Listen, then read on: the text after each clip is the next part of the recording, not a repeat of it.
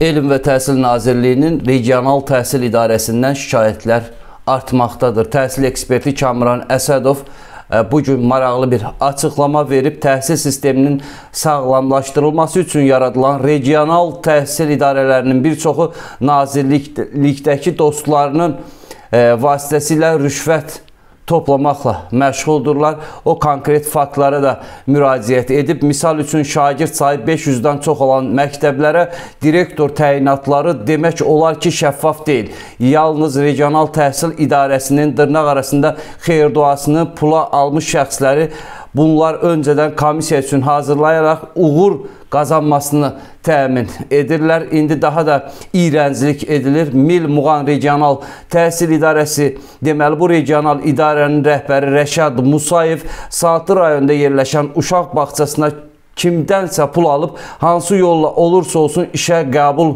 vədini verib. Gənc bağça müdürü də qanunvericilik aktlarına uyğun olaraq yeni işçi götürməyib iş saatları mövcud olan işçilər arasında bölünüb. Maraqlıdır ki, bağça müdürü öz problemlərini həll etmək üçün Nazirlik regional idarədə hamıya məktub yazıb, qəbula yazılıb. Amma Elm və Təhsil Nazirliyi regional təhsil idarəsi üçün qanunlar yox, təhsilin inkişafı yox, öz maddi maraqları üstün olub. Təhsil eksperti Kamran Əsədov qeyd edir ki, nazirlik yanında ictimai şuraya da sual ünvanlayıb. İndi də təmiz işləyən gənc bir bağça müdürünü şərləyib işdən azad etmək istəyirlər. Han o 200 min manat qrant alıb ayaq yolu problemini həll edən İctimai Şura deyə bir sualla Kamran Əsədov Təhsil Naziri Emin Əmrullayevə müraciət edib. Bir daha qeyd edirik, Mil Muğan Regional Təhsil İdarəsinin müdürü Rəşad Musayev kimdənsə hansısa ə, e, vədin qarşılığında uşaq bağçasına işçi düzəldəcəyini